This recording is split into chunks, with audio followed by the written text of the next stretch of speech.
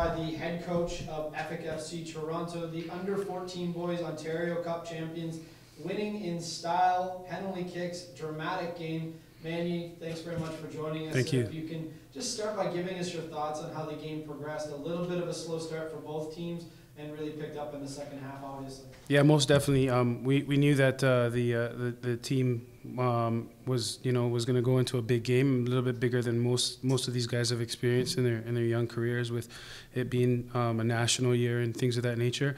Um, we switched our formation a little bit to be a little bit more conservative, and it looks like it was a good good idea because we, we, we were a little bit flat at the beginning, and, and you know both teams sort of in the first 20 minutes wanted to feel each other out. I think in maybe the first five minutes we, you know, we sort of got out to a quick start, but then after that, you know, the game was really, you know, a, a, a midfield battle, you know, for, for you could say for for a good majority of the first half.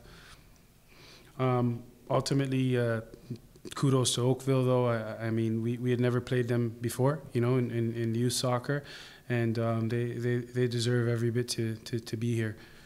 Ronaldo Marshall with the opening goal for you. Shortly after a goal had just been called back, bit of an emotional moment as that game was emotional. Just talk about Ronaldo's play on the day as well, and um, yeah, for sure. I mean, uh, you know, we, we have you know some some of uh, the best strikers in the age group, and I think it, it, it's safe to say that he's you know he's one of the guys that we, we really look to to get the ball in the back of the net for us, and you know this is you know a big game, and he's he's a big game player, and uh, from from that situation we knew if if he got a couple opportunities that one of them was going to go in, and he, he did well to take his finish. He was really uh, determined from, from his standpoint. And uh, had great great composure as well. Just after having that offside goal called back to keep his emotions in check, because like you said, it literally happened like minutes later, right? So.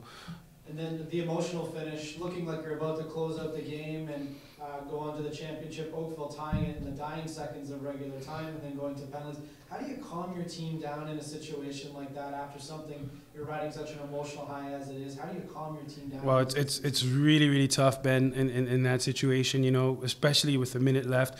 It's happened to us before. You know, um, I, and and I, I'm glad it has. You know, in, in maybe younger younger phases of, of their of their age groups and, and competitive nature. Um, you know it, it's it's it's really like we, we get into a situation where we get scored on, the momentum's completely wiped off. Um, it's it's a real downer, and right away we got to pick ourselves up and, and, and get our, our, our, nerves in check, our guts in check for penalties. So it, it was really tough, but at the same time, um, you know, experience and reference is, is important too. And you know, we've we've been on the other side of, of, of, of the of the result where you know where Oakville finds himself today.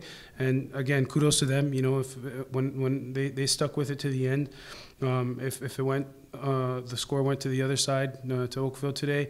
I mean, from from our aspect, you know, there couldn't have been a lot of arguments as well. They, I think they, they did enough to deserve to win, and it's always tough to lose in penalties, you know. And it was just it came down to just you know he wouldn't even call it a mistake, but it just it just came down to you know one one player shooting a little bit off, and you know we uh, we're, we're not complaining. Sometimes um, if if if you're you know if you're a team of destiny you have to you know tempt that right? So it is a tournament of destiny a lot of times. for sure. It's a razor's edge for most teams. You can just one mistake can knock you out of the tournament just take us on your journey through this uh, through this tournament and the Ontario Cup and obviously the emotions around yeah, for sure. Um, I mean, going back to you know Epic FC Toronto as a whole, I mean we're we're we're not a big entity by any means. We have about 75 athletes um, within five age groups, so this is huge for us. You know, this is something that we identified.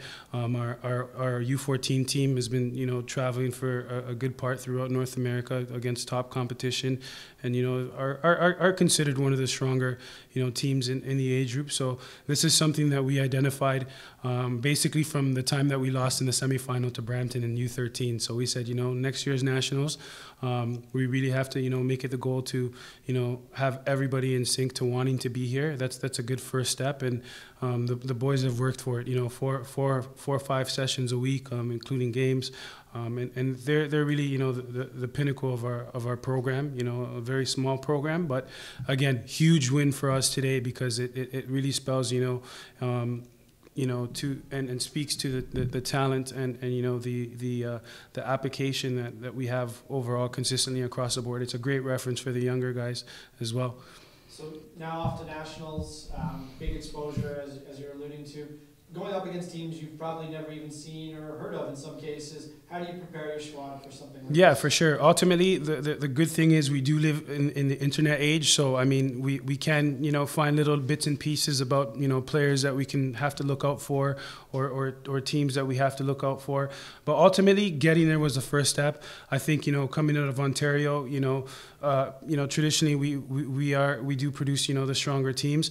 And I, I really like our chances in terms of just in, in putting us in situations where we don't know anything about the team and the team knows little about us. I think you know we we have you know two or three individual talents that are really really hard to adjust to on the fly and things of that nature. So I mean we're we're going to be working really hard towards getting there. Um, four times a week, uh, five times a week uh, to, towards getting um, to to that national championship. We we know it's a it's a U15 uh, men's national team year, and from from that standpoint, uh, we we've made it a goal for our individual players to showcase themselves and get there. And we know that this is a very very important feather to have on each of these players' resumes if they're going in that direction. So all sails ahead to it. It's been Manny Corona, head coach of Epic FC Toronto, the under 14 boys Ontario Cup champions. Congratulations. Thank you. Thank you.